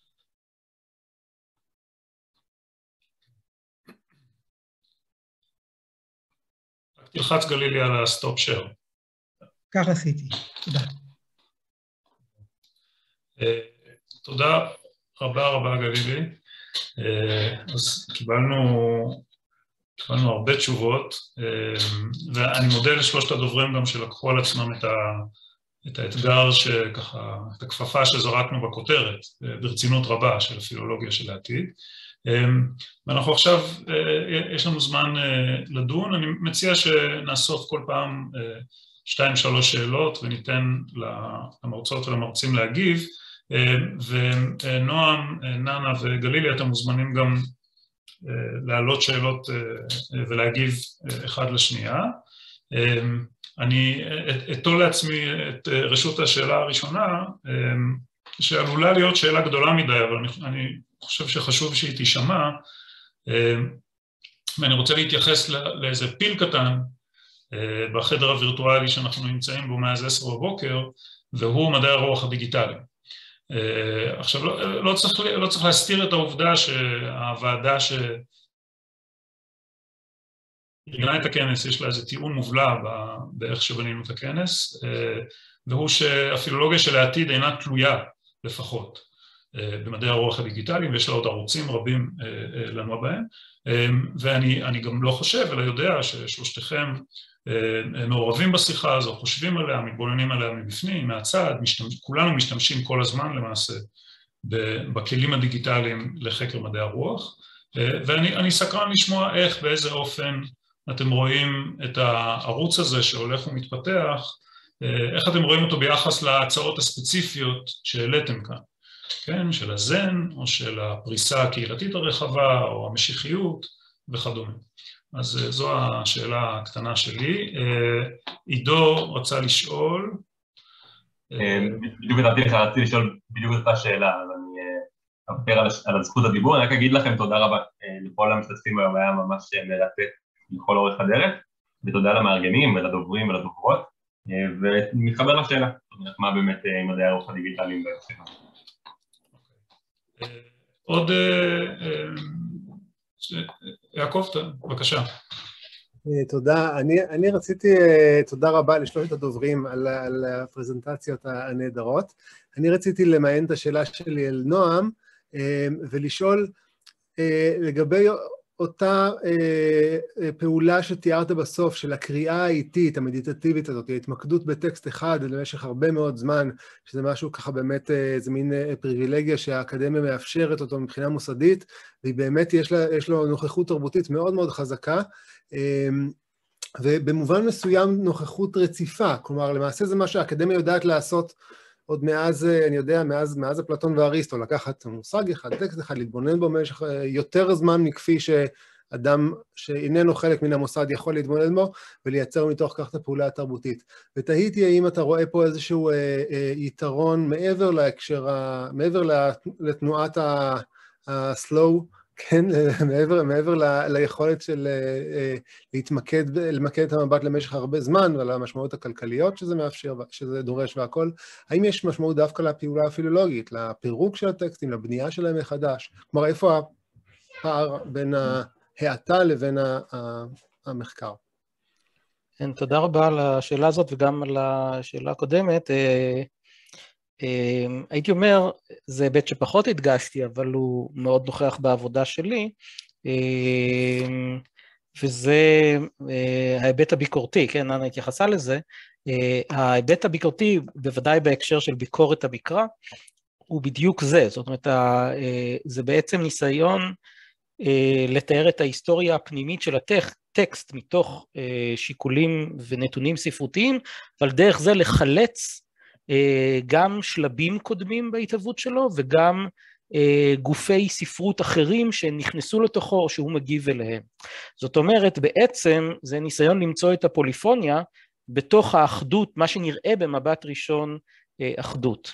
ולמשל, במקרה של הפרגמנט ההוא שהראיתי, שהיה קטע של אחד העותקים של מגילת המלחמה, מלחמת בני אור בבני חושך, אה, וזה מה שניסיתי לעשות באותו אה, מאמר, זה להראות שבעצם זה טקסט, אם תרצו, אה, אחד מספרי ה science fiction הראשונים בעברית, כן, הוא מתאר איזושהי מלחמה אפוקליפטית עתידית שתתנהל במיטב הטכנולוגיה הצבאית שהם יכלו לדמיין בעבר, אבל בעצם בתוך הטקסט הזה, לפי הצעתי, הקריאה האיטית מאפשרת לחשוף שימוש בגופי שיר עתיקים יותר, שמעיקרם בכלל לא היו אפוקליפטיים, לא היו דתיים אפילו, אלא הם בעצם קטעים של שירה חילונית, אמ, שאני מנסה לשרטט את ההיסטוריה המשוערת שלהם, וככל שהיא משוערת יותר, היא כמובן גם דמיונית יותר, זה גם צריך להגיד. זאת אומרת, יש פה מרכיב היפותטי מאוד גבוה, שהולך וגדל ככל שאנחנו מעמיקים בתוך הניתוח הביקורתי.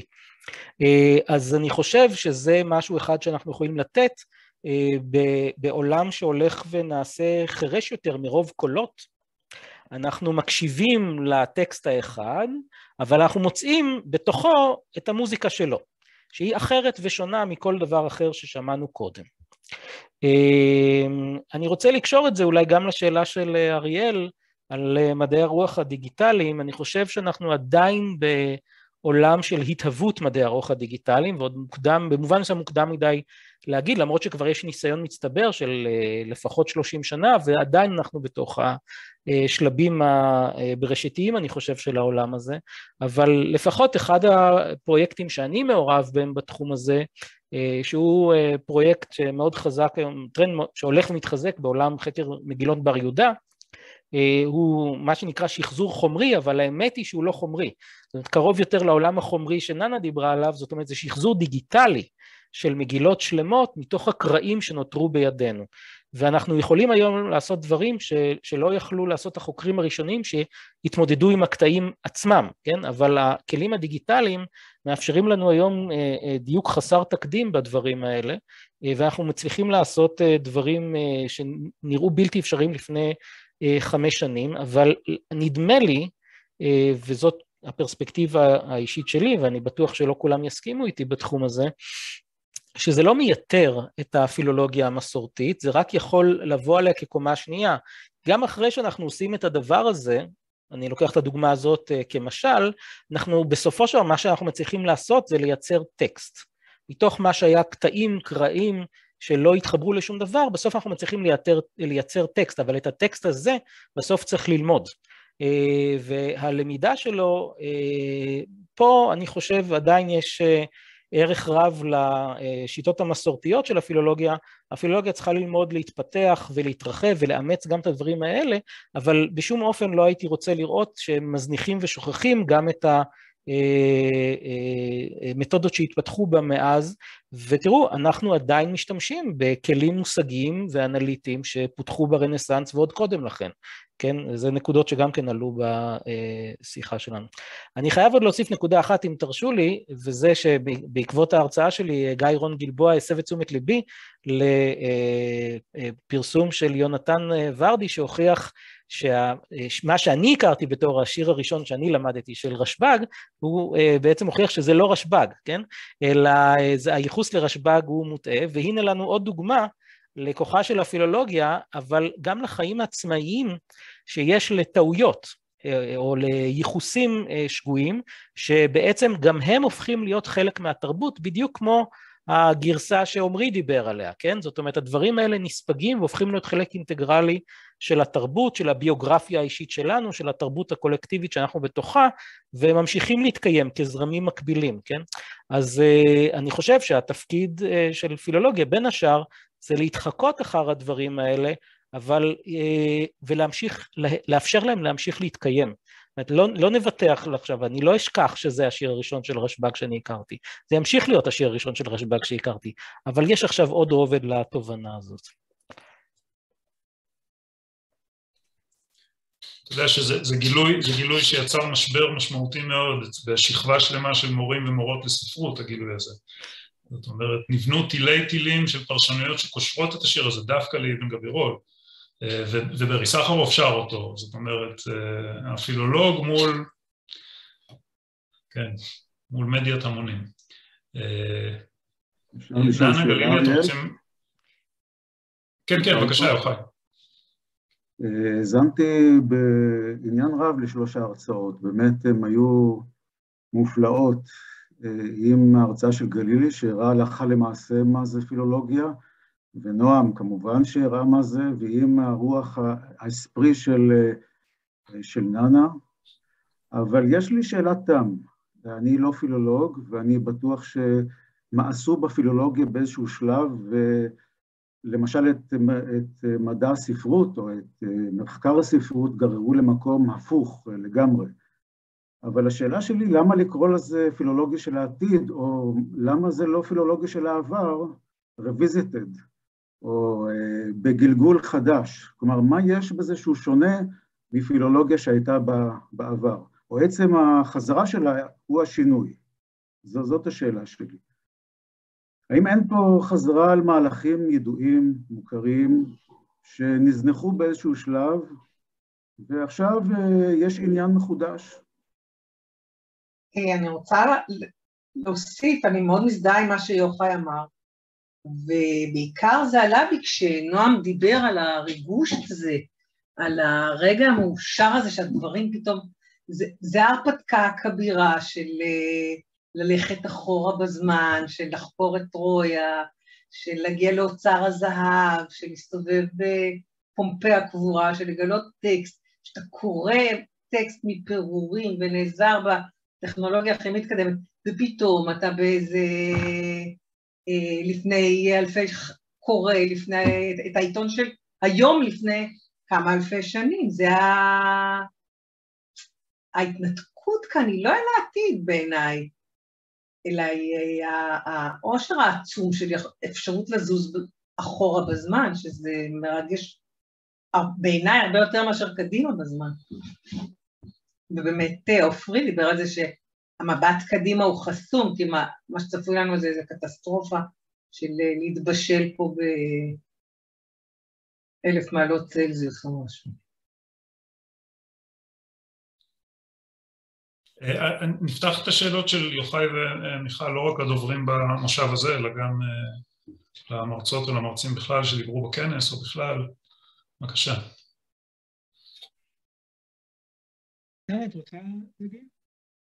אמ, אולי ממש בקצרה, אני חושבת שאנחנו מתעסקים פה במונחים שעדיין אה, לא מבוררים כולם לגמרי, נכון? כשאנחנו אומרים פילולוגיה, אנחנו מתייחסים למשהו גדול שיש לו כל מיני שלוחות, שאנחנו אומרים מדעי הרוח הדיגיטלי, זה...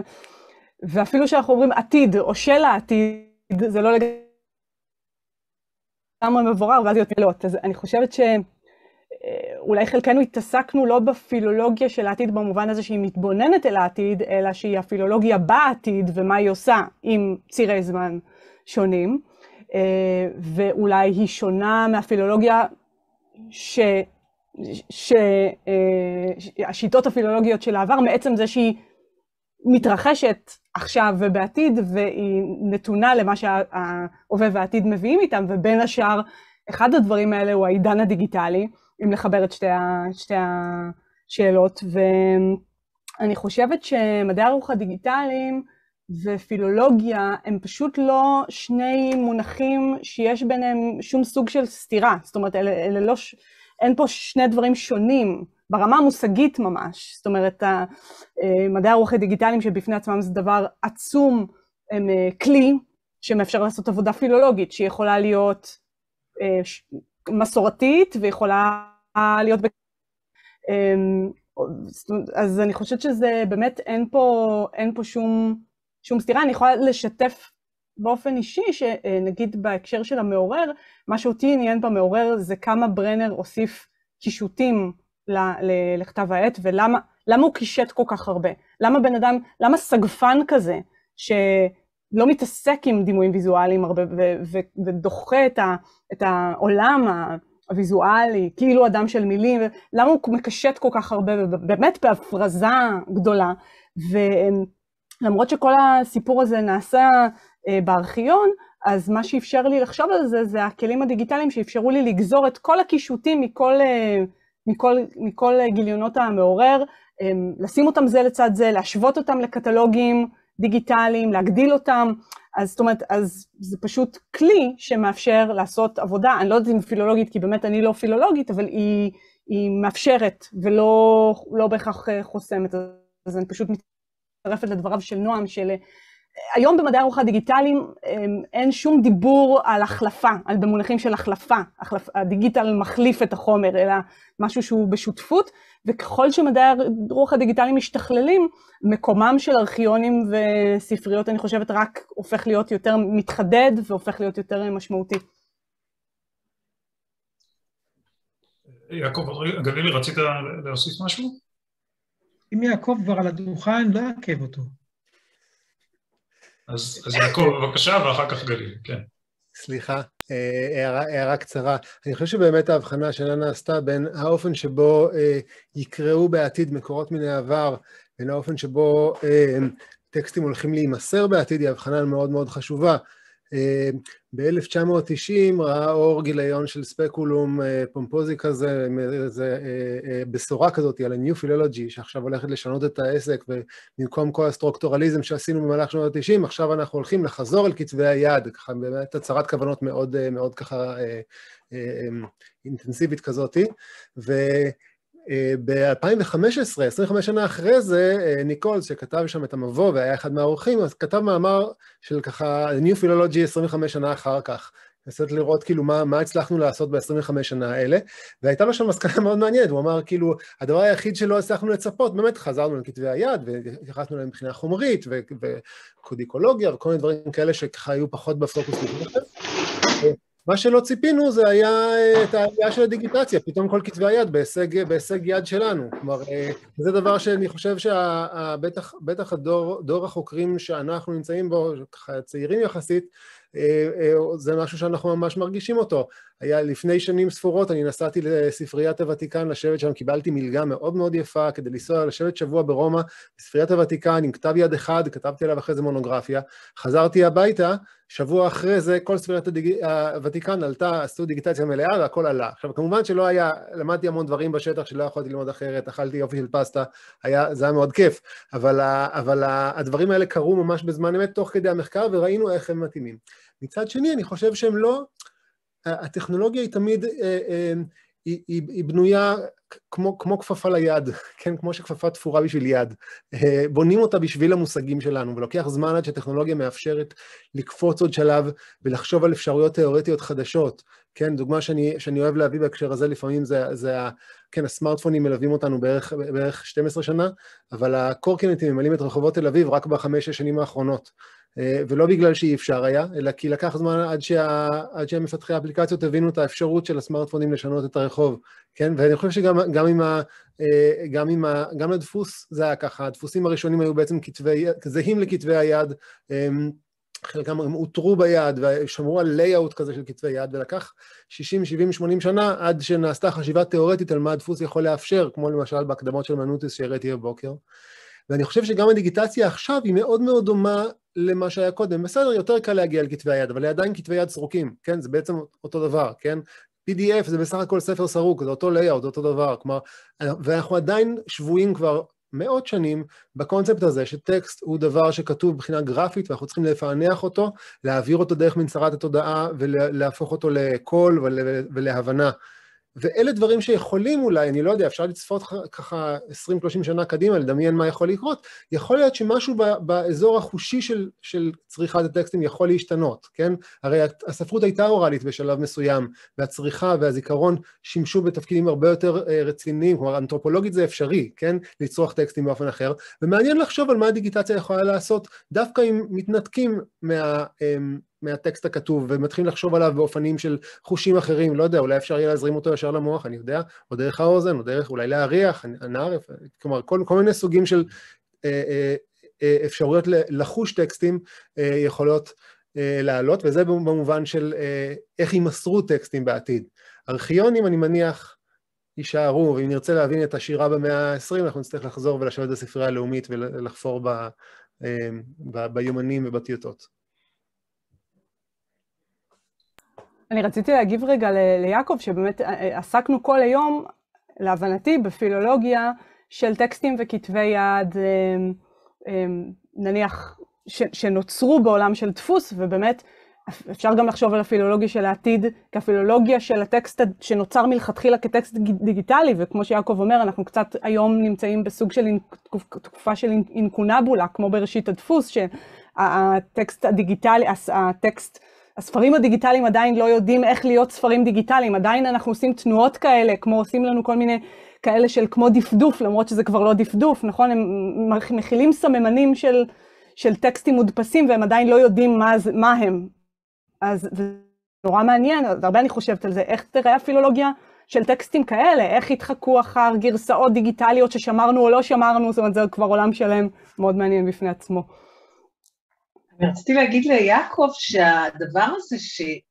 שאתה לגמרי צודק, שהדבר הזה של אה, ספרים מוקלטים מאוד מאוד גדל, אני לא יודעת אם אתה מודע לזה, אבל המון אנשים, נשים ואנשים שומעים ספרים מוקלטים, ושחשבת, זה שכשהם נוהגים, כשאני לא יודעת מה הם עושים, אה, רצים בבוקר בפארק, חשבתי זה שכל ספר מוקלט הוא ספר תחת פרשנות, כי יש לו ביצוע. מישהו מבצע אותו, אני יודעת בשיעורים כשאני מבצעת, יכולה לבצע טקסט ככה, אני יכולה לבצע טקסט ככה, או שיהיה מצחיק או שיהיה עצוב, ושתמיד, אה, בספר מוקלט תמיד שומעים אותו תחת פרשנות. תודה מיכל. אה, גלילי, רצית להוסיף משהו?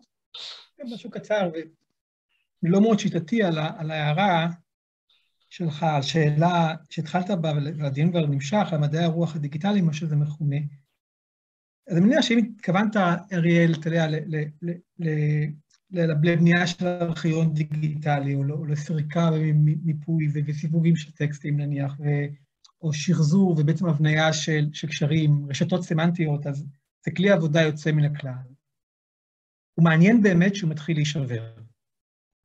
כלומר, שהטקסטים לא בהכרח, העריכה שלהם, או תצורות דיגיטליות, או אותם קשרים ומיפויים, לא בהכרח משיבים תשובות, אלא אה, נוצרים בהם פערים. שיבוש זה לא בהכרח טעות, נכון? זה שישנן שתי משמעויות לפחות שיוצרות איזו מין סתירה. אתם יודעים, אני גרמניסט. רק שם האמת מסתתרת. המקום ש... לא אמרתי מופיע, נכון? מסתתרת. המקום שבו יש ריבוי של משמעויות, או משמעויות מתחרות, מהמקום שבו האפשרות למשמעות מופיעה, אז העתיד. עכשיו, בכלל כל הסיפור הזה של המדעי הרוח הדיגיטליים נראים לי מעט הגשמה, לא יודע אם מבעיטה או אחרת, של מה שכבר תמיד ידענו, דברים שיורדים מן העננים, נכון? Clouds, תחשבו על מסירת הקוראן, זה כבר תמיד היה כתוב במקום אחר, באיזה PDF אלוהי, או על שירת המלאכים, תמיד אני רואה, We, you have a message, תחשבו כמה זה ליטורגי, אנחנו מקבלים הודעות במייל, זה כל כך ימי הביניים, זה כל כך תומאס אקווינס, זאת אומרת, לא ברור שהחדשנות פה היא במובנים הטכנולוגיים כמובן, אה, היא כל כך זרה, ל, ל, ל, ל, אתם יודעים, לפערים האונתולוגיים שבעצם שאלת האדם. ולכן אני בעד מדעי הרוח הדיגיטליים, אבל לא, לא רק, לא מתוך התמסרות אינסטרומנטלית אה, לפתרונות, לאפשרויות, אה, לאזורים נוחים אפילו של העבודה, לוויתור על החומר. י, יעקב, חייבים לנסוע לוונציה, חייבים לנסוע לרומא, חייבים לנסוע למקומות אחרים כדי להיות במקום, כדי לא למצוא את הטקסט, נכון? אה, דווקא אותם, אותם מרחק הוא זה שיוצר תשוקה, על זה, על זה השירות והטקסטים הגדולים של, של המסורות במערב או המזרח הם מיוסדות, לא בהכרח על התשובות. אז רציתי להעיר שמדעי הרוח הדיגיטליים, אה, הם מן הסתם גם ינסחו אחרת את השאלות שהכי לא מטרידות אותנו. על, על נוסחים, על מקורות, אה, רק שלא יפתרו אותן. אבל זה, ש, זה שהמשמעות אמ, הרצינית ביותר עבור אקדמאים של מדעי הרוח הדיגיטליים זה אה, אה, קריסה בתקציבי מחקר לנסיעות, זה, זה דבר שאנחנו מרגישים אותו ממש ממש בחומר, כן, עכשיו. ואני מסכים איתך שצריך לנסוע, אבל המשמעות של הנסיעה משתנה. היא הופכת להיות כן. כבר לא אה, אה, על, על, על הלחם והבשר של המחקר, אלא פרפראות, זה משהו אחר. הרבה מן המחקר שלנו נולד לפעמים ביציאה מן הארכיון, בשיטוט, בפגישות מקריות. אה, אתם יודעים, כלומר, כולנו חווינו את זה פעם, שזה לא כתב היד, אלא, אלא הקשריו, הקשרי גילוי, הקשרי צידוק, או אפילו היעדר הקשרים. ומשמעויות שבאות מן העתיד במובן המדויק של המילה, שזה עבודה לדורות, כן? אבל לא, אני מסכים כמובן. תודה. אני רוצה אולי כן להוסיף משהו לשאלה של יוחאי. אמ, אני אמנם, אני עצמי לא דיברתי דווקא על העתיד, אלא יותר ניסיתי להסביר למה אני עוסק בפילולוגיה, אני לא יודע אם זו תשובה מספקת למה לעסוק בפילולוגיה אה, בכלל, אבל אני כן רוצה להגיד שיש, אני חושב, אתגר מאוד גדול בפני הפילולוגיה של העתיד. אה, והאתגר הוא אתגר קיומי. והוא קשור למה שמילט אמרה בדברי הברכה שלה. הפרגמנטציה של הידע, הפירוק למסגרות אה, אקדמיות ומנהליות אה, שונות, וכפועל יוצא מזה, אובדן תחושת הלכידות הדיסציפלינרית. זאת אומרת, אני חושב שאחד הדברים היפים, באמת, הנפלאים ביום העיון הזה, זה שהתכנסו אנשים מחוגים שונים, מסגרות שונות, אבל הרגישו לפחות לרגע הזה שותפים לאיזושהי דיסציפלינת על, כל אחד מהכיוון שלו או שלה, אבל הרגשנו שאנחנו שותפים לאיזו כברת דרך שאנחנו הולכים ביחד. אני חושב שהיכולת הזאת היא כבר עכשיו הרבה יותר נדירה ממה שהיא הייתה בעבר. והיא הולכת והיא תיעשה הרבה יותר נדירה בעתיד, מכיוון שאם אנחנו מסתכלים על מה שקורה בארצות הים, במיוחד מעבר לאוקיינוס, אנחנו רואים שהרבה מאוד תחומים שבעבר נשלטו בידי פילולוגים, לטוב וגם לרע, הם תחומים שעובדים תחת ידינו. ואני רואה את זה היטב בתחומים שלי, כאשר המשרות האקדמיות בתחומים האלה, כן, מי שתופס בין אחיזה, אלה אנשים שהכשרתם אינה פילולוגית ולפעמים משתמשים במילה פילולוגיה, אבל באופן שהוא שונה לחלוטין מכל דבר שאי פעם איזשהו פילולוג הבין במילה הזאת. אז אני חושב שאנחנו, אני חושב שזה אתגר אמיתי, אני בהחלט חושב שיש לפילולוגיה מה לתת, ואני כן רוצה להאמין שהיא תוכל לתת את הדבר הזה, אבל זה מצריך הפניית משאבים, וזה מתחבר למה שיעקב אמר קודם. זה לא רק הזמן לקרוא, להתעכב לאט על כל פרגמנט, זה בראש ובראשונה עניין של הכשרה, לימוד שפות, לימוד שיטות, זה תהליך ההבשלה של פילולוג, מדעי הרוח באופן כללי, תהליכי ההבשלה של חוקרי מדעי הרוח הם הרבה יותר ארוכים מאשר בתחומים אחרים, ואולי בתוך זה של פילולוגים זה תהליכי הכשרה ארוכים והמסורבלים ביותר, וכל כך הרבה דברים יכולים לקרות בדרך ולגרום לאסון עד שמגיעים אל הקצה המיוחל. אז יש פה אתגר קיומי אמיתי. אני חושב שיש גם תקווה מאוד גדולה, כי אנחנו רואים, שמענו פה הרצאות נפלאות של אנשים שהם עתיד המקצועות האלה, וכבר ההווה שלו, ואני חושב שהעתיד הוא נראה מבטיח, אבל זה לא אומר שאין סכנות. אז הייתי אומר, הפילולוגיה של העתיד, קודם כל, האתגר הראשון שלה הוא להישאר פילולוגיה. זה בראש ובראשונה. טוב, אנחנו מתקרבים לסיום. יש עוד הערה, הערת חתימה או סיום? אדל, אני פונה אלייך, אני לא רואה אותך, אבל העברתי את השאלה שלך לגלילי. היא לא, היא לא בדיוק מנוסחת ככה שהבנו, אז אם את רוצה, את רוצה אולי לשאול בקולך?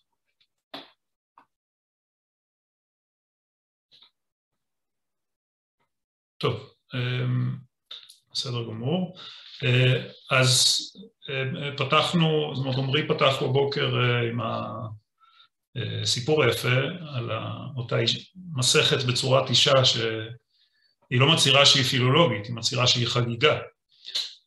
אז, אז אני חושב שזה אקורד טוב לסיים בו. אני לפחות חש שאני יוצא מחגיגה של ממש, ובין השאר מהסיבה שנועם הזכיר, זה הרגע של ריבוי הכיוונים, ריבוי הדיסציפלינות, ריבוי הקולות, שהוא ברכה מאוד גדולה.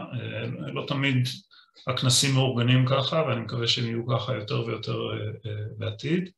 אני רוצה להודות מאוד מאוד שוב לחברי הוועדה, יעקב מאיר, שני פוקר ועמרי לבנת, כל העבודה הקשה מאחורי הקלעים.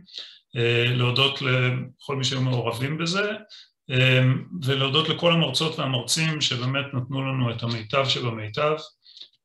אני מאוד מקווה שלפחות חלק מההרצאות תעלנה מוקלטות, אז אם תרצו לחזור לחלק מהחומרים אז אפשר יהיה. ואני שב ומזמין את כולכם וכולכן להמשך האירועים של חגיגות אלף שנה לאבן גבירול.